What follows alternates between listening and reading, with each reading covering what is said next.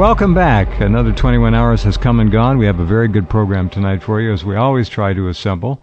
And Clark McClelland will start things off tonight. For those of you who've been listening for some time, Clark has a, a fascinating background. He has served this country as a patriot, as a scientist with the Space Shuttle program.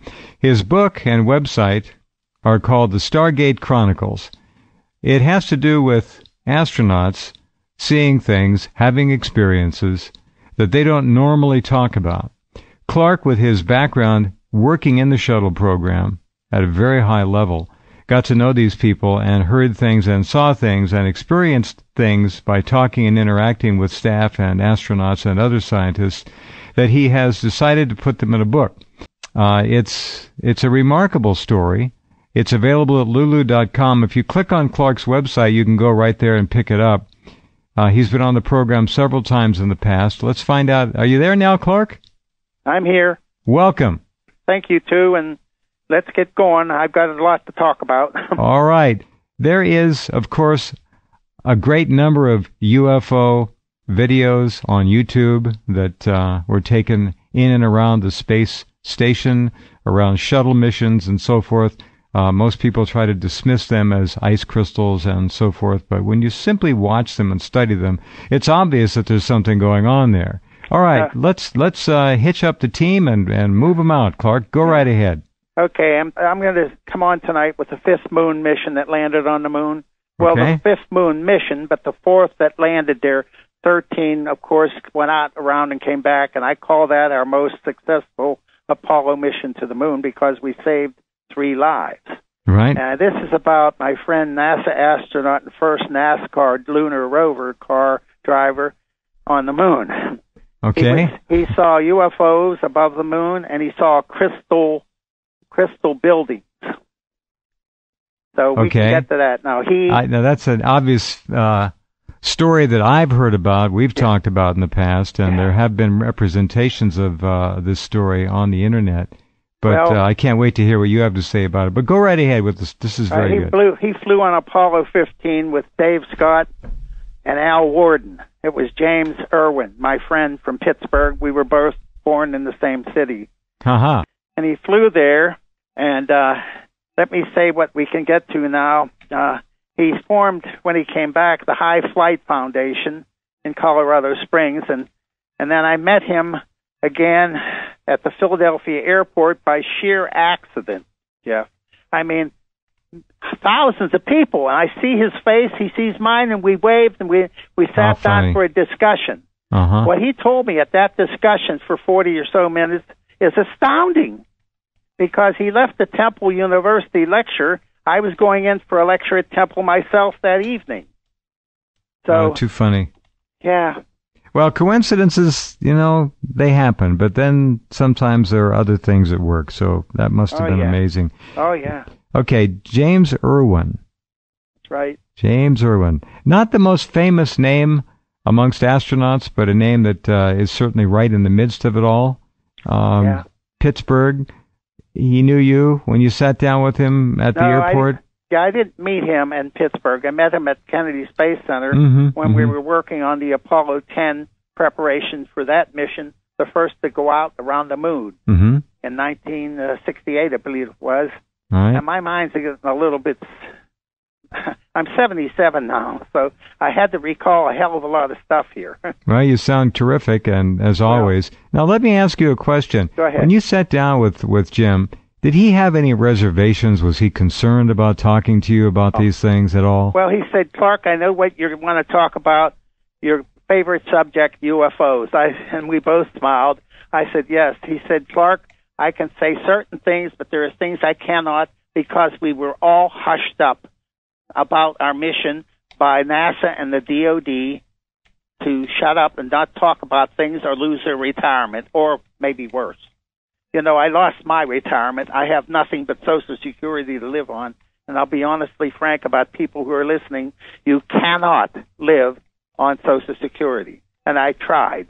And I'm trying to help my daughter who's out of work. mm-hmm. So, so that's the bad news. If people out there can help me by opening and reading my books on www.stargate-chronicles.com, I would appreciate that very much. My health is very bad now. I don't know how long I'm going to be around.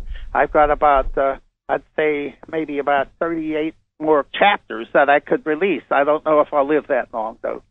Well, you you better. No checking I- out early, Clark. You I got work that. to do. I know that. I We've been my- friends a long time, and you you uh, you you have my highest admiration and esteem. So let's have, get this stuff out there. I have a health problem with my left leg from sugar now, and the the pain from the wounds I have are so excruciating I can't sleep at night. They're Yeah. that bad. I'm not lying. Please. No, Clark. I uh, for those of you listening, I I've known Clark for a long time. He does not exaggerate. And no, I don't. Uh-uh. no. Anyway, what you got a question for? Well, go ahead and tell us uh, when Okay. James Irwin sat down with you and, and he asked you, uh, Yeah. obvious, the obvious question, uh, what do you want to talk about? I think I know. Yeah. Uh, let's talk about the conversation. How did it proceed? Well, he said, I'll talk about some things, Clark, but there are some I cannot. And I said, I understand, Jim. And what year was this again, Clark, approximately? His flight was in 1971, All right. and they landed at the Appin- uh, at the uh, uh, the uh, Apennine area of the moon, mm-hmm. and it's mountainous. And your meeting with him, I was meeting with him at an airport lunches luncheon, what year? uh, 1979, 1979. Okay. he did his lecture at Temple, and I did one that year there. Okay. Eight eight years difference from Yeah. the uh, time it happened. Yeah. Now, um, was he afraid? Was he simply under national security and NASA s- stricture? Well, he Uh, he had well- already retired, Jeff, Mhm. and he had fears. He had fears because there were threats of dis, of discontinuing their health benefits, their retirement, like happened to me. Same And thing. He, he said, "I can't chance that, Clark, with my family." And I said, "I understand that, Jim."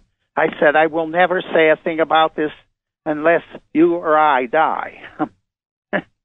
of course, if I died, I couldn't say anything. That would be a tough trick. Uh, yeah, he he knew. He knew what I meant. yeah.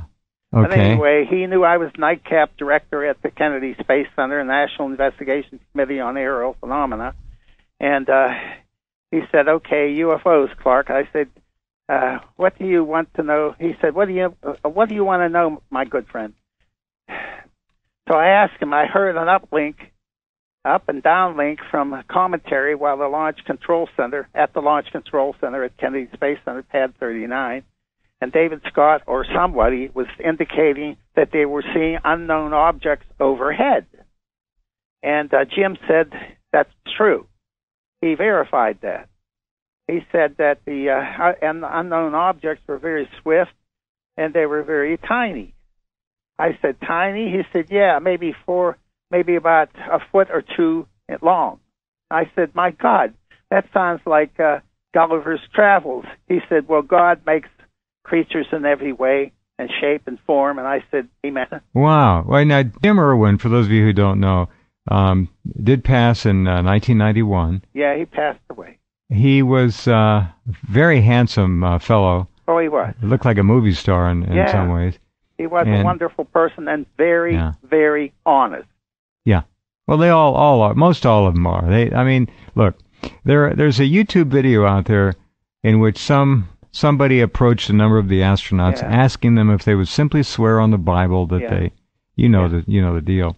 And some of them became. None of them would do it. Uh, that that they didn't see anything up there. They wouldn't make that statement. yeah. No, And- no, they they backed off because when I asked uh, Jim, do you know of other astronauts who have seen things like this? He said, yes, Clark, but I will not name them. So Hmm. uh, probably each of the Apollo missions to the moon had sightings of something or another strange, maybe even ETs, Apollo 11. Well, we've seen that the photo of the large fellow standing in the open bay of the space shuttle. oh, yeah, yeah. I mean, that's that was our last program. I think that was amazing. Yeah. Well, I did see that eight to nine foot tall uh, creature. I I can't say it was an alien. I don't know. Then I saw a craft hovering behind our our shuttle, an eight to nine foot creature with two small NASA astronauts receiving orders from this giant. Well, we have a photo of that too. Yeah, Uh, yeah. There's a photo on my on my website. Amazing.